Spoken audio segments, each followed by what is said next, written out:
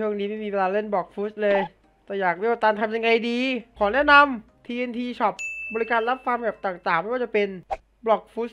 โลกูนและแมนซิตี้ลิงก์ Facebook ใต้คลิปเลยนะครับ อยากได้ที่หาผลปีศาจจังเลยอะไม่พออีกแล้ว ซื้อ Robux กันดีกว่า ผมขอแนะนำ Crystal Shop ร้านขาย Robux rate 6ขั้นต่ำเพียง 1 บาทเท่านั้น อีกทั้งยังมีเกมให้คุณได้เลือกฟาร์มอีกมากมาย ลิงก์ Facebook ใต้คลิปเลยนะครับ Meeting Store ร้านรับฟาร์มเกม Shinobi ไม่ว่าจะเป็นสัตว์หางของต่างๆ สามารถทักมาที่ใต้คลิปเลยนะครับ โอเคผมก็สวัสดีทุกคนเลยนครับวันนี้ผมเล่นเกม Roblox กับที่ชื่อว่า Shinobi Life สองนะครับ ก็คือวันนี้เนี่ยผมสงสัยบางสิ่งบางอย่างนะครับ ก็เลยจะมาทำคลิปพร้อมกับทุกคนไปเลยนะครับ จะได้รู้ไปเลยนะครับว่า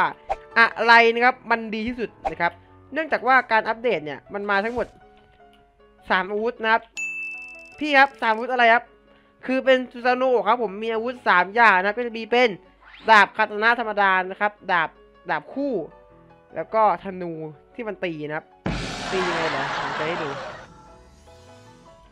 ดูนะ ดูแม่งเอามาตีเว้ย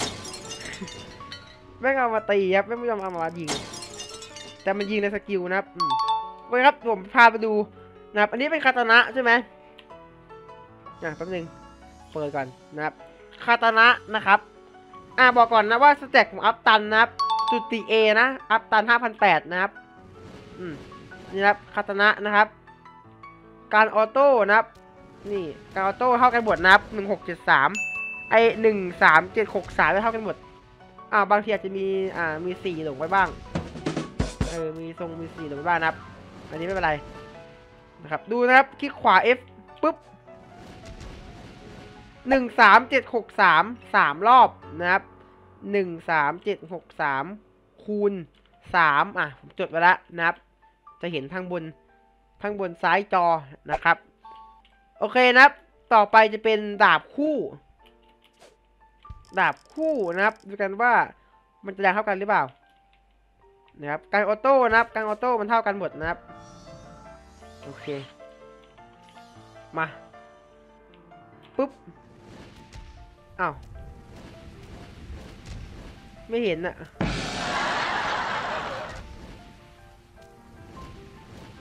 ไม่เห็นว่ะเอันใหม่เอาใหม่เอาใหม่เอาใหม่ปุ๊บไม่เห็นสองอะไรนะเริ่มตีตรงนี้วะสองอะไรวะลืมแล้ว เดี๋ยวเดี๋ยวเดี๋ยวเดี๋ยวเอาใหม่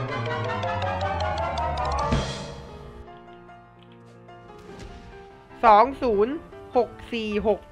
สองศูนย์หกสี่หกคูณ สองนะครับ โอเค ผมจดไว้แล้วนะครับ ทางซ้ายมือข้างบนนะครับจะเห็นโอเคครับ ต่อไป ต่อไปเป็นธนูที่ไม่ใช่ธนูของเกสโนว่าไม่ใช่ละมา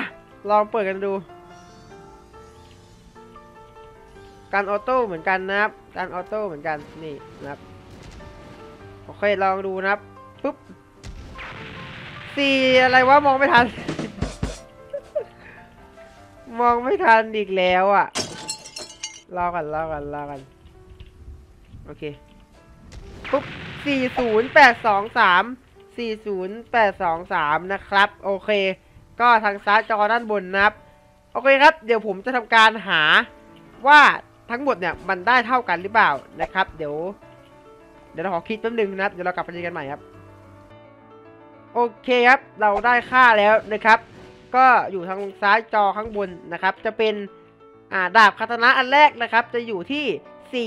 41298 นะครับ ส่วนดาบคู่อยู่ที่ 41292 และธนูสกิลนะครับอยู่ที่ 40823 นะครับ แต่ว่าไอ้สกิลนี้มันค่อนข้างระยะไกลนะครับ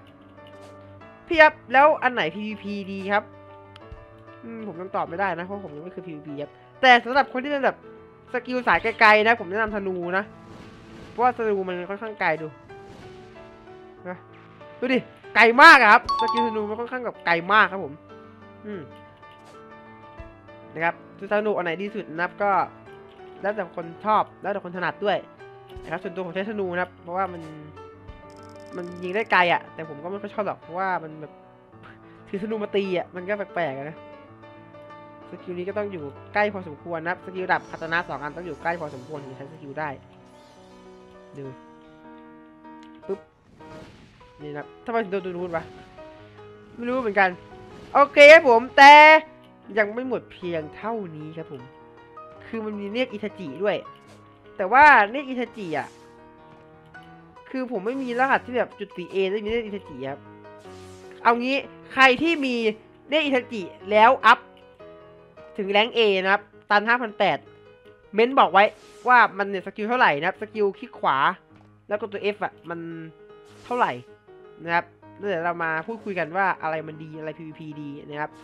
PVP ดีอะผมชอบธนูทำไมอะมันระยะไกลครับแค่นี้เลย มันระยะไกลนะผมขอโหวตให้เป็นการอ่า PVP ฟาร์มก็ดี เพราะว่าเราจะได้ไม่โดน damage นะครับ ทุกอย่างดีหมดธนู แต่ว่าสกิลมันเบาครับ ครที่เป็นสายบูสายแทงก็เป็นดาบไม่ก็ดาบคู่ก็ได้ครับแต่ว่าดาบคาตานะธรรมดาเนี่ยแรงกว่าดาบคู่นะใช่ครับผมคิดให้แล้วนะครับ ตามเมื่อกี้นี้เลยนะครับ ก็คลิปนี้คงประมาณนี้นะครับ น่าจะได้ความรู้อะไรกันไปเยอะแยะนะครับ ใครมีความเห็นอะไรครับ สามารถคอมเมนต์ที่ใต้คลิปนี้เลยนะฮะ ก็สำหรับวันนี้บ๊ายบายครับผม เย้อ่าล่วงล่วงล่วงล่วง